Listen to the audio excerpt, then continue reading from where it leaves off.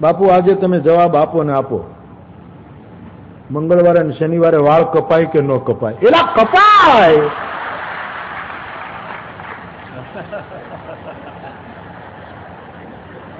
આવી નાની નાની બાબતમાં શું ડરો છો યાર?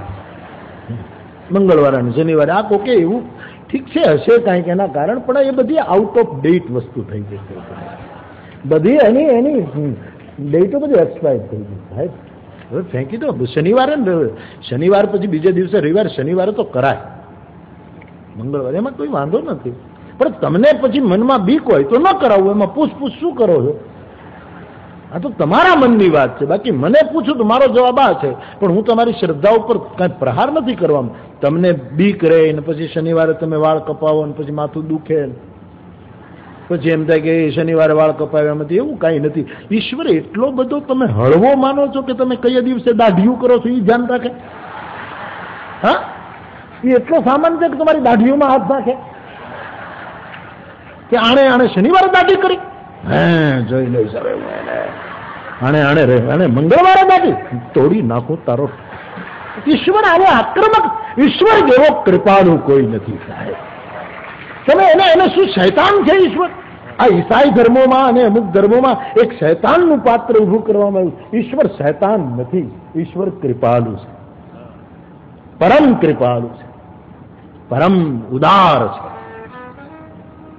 શનિવારે થાય ને રવિવારે થાય ને એવું એવું કઈ અને આનાથી બધાથી બચવું હોય તો વધારો ને દાઢી મૂછ એટલે ઉપાધિ. કે દિવસે કપાવવું ને કે દિવસે કઈ માથે દાઢી મૂછ વધારો ને. બસ. અને ફાયદા કેટલા? બહુ ફાયદા. કોક આપણને ભાડે ત્યાં જ પ્રણામ કરે. બાપજી, નમસ્કાર. હા. મુંડન કરાવો તોય ફાયદા અને જટા વધારો તોય ફાયદા. મુંડ મુંડાયો તીન ગુણ સિરખી મીટે ખાજ. ખુજલી મટી જાય.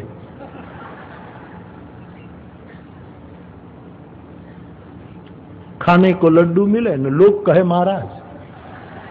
ખાવામાં લાડવા મળે. બાકી આવી નાની નાની વસ્તુ છે. બાપ, છતાં તમારી શ્રદ્ધા હોય એ રીતે. પણ ધર્મને તમે ડરીને નહીં પાળો. ધર્મ પાળવાથી માનવ અભય થવો જોઈએ. લોકો ભણેલા ગણેલા કેટલા ભીરું લોકો.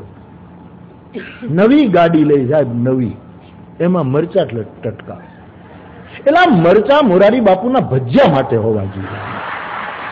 એને કઈ મોટરમાં લટકાવવા માટે મરચાઓ તમે મરચાનું તમે સુકામ એને સ્થાન ભ્રષ્ટ કરો છો. મરચાઓ રાજી નહીં થાય. એક તો બિચારા ખીજમાં ખીજમાં વળી ગયા છે તીખાશને લીધે. કાઢીઓમાં મરચા લટકા એ વળી પાછું જો એક વસ્તુ તમે જોજો. મને વસ્તુ ન ગમતી હોય, હું ન માનતી ન માનતો, એ તમારા ઉપર લાદતો નથી, પણ તમારો ભય તોડવો, એ મારી ફરજ છે. લીંબુ ને મરચા ને આ ને તે ને ઠીક છે તમને ગમતું હોય તો સારી પણ તમે આટલા બધા ડરો છો શું કામ સત્તા ડરાવે સત કોઈ દિવસ ડરાવી ન સત જો ડરાવે તો સમજવાનું એ સત નથી સત્તા છે સત કોઈ દિવસ ડરાવે નહીં સત તો આદમીને નિર્ભય કરે માનવીને હળવો ફૂલ કરી દે. એનું નામ સત્ય. સત્ય તો માનો ખોળો છે. જ્યાં બાળક નિર્ભીક બને. ધર્મ જો ડરાવે તો એને ધર્મ જ ન કહેવાય. આમ ન થાય, આમ ન થાય, ફલાણું ન થાય.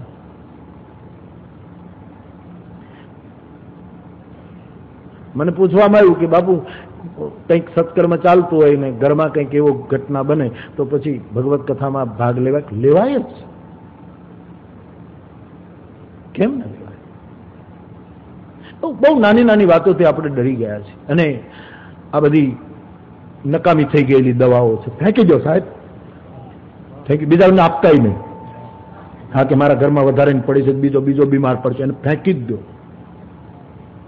એને ખાડા ખોદીને ભંડારી દો. આ વસ્તુને સાહેબ. ધર્મ તો અભય આપે છે. કેટલા બધા ડરીએ છીએ. મોટર લઈને નીકળે ને ભગવાનનું મંદિર આવે ને જો હોન ન કર્યું હોય તો બીક લાગે કે એમ. ગઈકાલે મને કોકે લખ્યું કે મારા ઘરમાં એટલા બધા ભગવાન છે. રાધા કૃષ્ણ સીતારામ, શિવજી, અંબાજી, દુર્ગા, ફલાણા, આ, તે તે. અમે એની માળા પહેરાવતા પહેરાવતા થાકી જઈએ છીએ ને એકને માળા ન પહેરાવે બીક લાગે છે કે નારાજ થશે. તો એટલા બધા રાખો છો શું કામ? દેવતા ચેતન ધરી હનુમંત સે. કાં તો બધામાં તમારી નિષ્ઠા હોય તો રાખો, તો ડરો નહીં. અને ડરતા હો તો? તમારા ઘરમાં વધારે ભગવાન હોય મને આપી દો. એ ભગવાનનું ઠેકાણું ક્યાં છે ને મને ખબર છે. હું એને એડ્રેસ મોકલી દઈશ હા, હું ખરેખર આપી દઉં. તમને બીક લાગતી મને આપી દો. અને બધો અડિયો દડિયો મારા ઉપર સાહેબ. એ ભગવાનને જેટલા શ્રાપ આપવા હોય એટલા મોરારી બાપુને આપે. મારે આ બેઠો છે. શું કામ ડરો છો યાર? છતાંય તમને અનેક દેવ દેવામાં દેવોમાં નિષ્ઠા હોય, તો રાખો, તો ડરો નહીં. એમાં શું વાંધો? રાખો ને. તો ડરો નહીં. પણ બધાને નવડાવવાના બધાને ચંદન કરવાનું બધાને ચોકા લગાડવાના બધાના નાકમાં અગરબત્તી કરવાની. દશામાં, સંતોષીમાં, ફલાણામાં આ તે ખબર નહીં. જે જેની શ્રદ્ધા એને આપણે ના નથી પાડતા, પણ તમે તમે તૂટી જશો. એને ઓલાને દેવને કાંઈ નથી. તમે દુઃખી થઈ ઓલાને તો કાંઈ, એને ખબર નથી તું કોણ છો. તારું અગરબત્તું શું છે એ એને ખબર નથી. કે તું શ્રીગંધ શ્રીંગાર વાગર વાપરે છે, કે તું સેન્ડલની વાપરે છે એ કાંઈ એને ખબર નથી. તમે ડરો નહીં મારા બાપ. તમે અંધશ્રદ્ધામાંથી બહાર નીકળો. ઈશ્વર એટલો એટલો નાનો નથી કે નાની નાની બાબતમાં નારાજ થઈ જાય બાપ. એ તો કૃપા સિંધુ છે સાહેબ. કરુણાનું મૂર્તિ છે.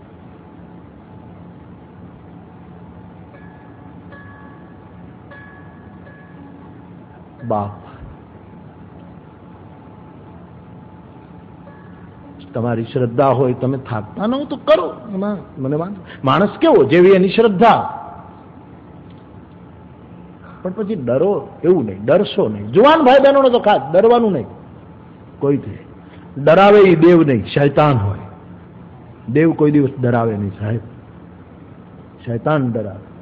જેની જે ઓળખાણ હોય એ દેવતાઓ ડરાવે અને જે દેવ ડરાવે એવા દેવની આપણને જરૂર શું છે? રે અને ઘરે એ દેવ.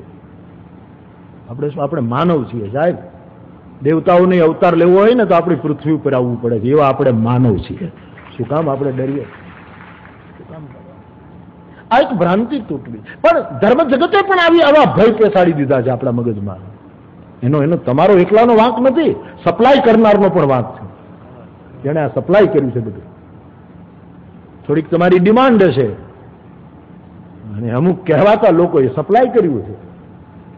આપણી માનસિકતામાં ભય નાખ્યો કોણે? આમ નહીં કરો તો આમ થશે ને, આમ નહીં કરો તો આમ થશે ને. તમને મંગળ નડશે ને, તમને શનિ નડશે ને, તમને રાહુ નડશે ને, તમને કેતુ એ તું કોઈને નડતો નહીં. ગ્રહો અસર કરતા હશે. સૂરજ ઉગે તો આપણને ગરમી નથી લાગતી. લાગે. પણ એથી ડરવાનું શું? કેટલાક માણસો તો એટલી એટલી વેટિયું પહેરે છે કે આંગળીયું થાકી જાય છે. એટલે કોઈ પહેરે એને મારો નાય નથી. એ સૌ સૌની શ્રદ્ધા છે. એમાં હું કઈ અંદર આડો ના પણ તમારા ભીરું માણસનો એ પરિચય છે કે તમે કેટલા ડરપોક માણસે છો.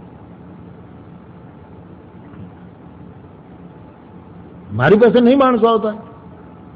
કે બાબુ, તમે તો જો બે ત્રણ વીંટીઓ પહેરો ને તો ફડાકો બોલે. હવે મારે ફડાકો બોલાવવામાં બાકી શું છે યાર?